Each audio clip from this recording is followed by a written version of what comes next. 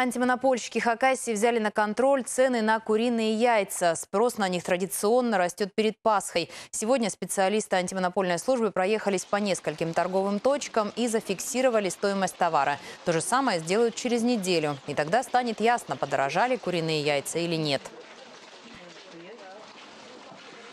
В случае, если нами будет обнаружено необоснованное завышение цен, а также будут э, материалы рассматриваться на предмет ценового сговора между производителями, поставщиками продукции. И если мы обнаружим признаки нарушения антимонопольного законодательства, будут приняты соответствующие меры антимонопольного реагирования. Добавлю, что в прошлом году ни одного факта нарушения антимонопольного законодательства в канун Пасхи в Хакасии выявлено не было.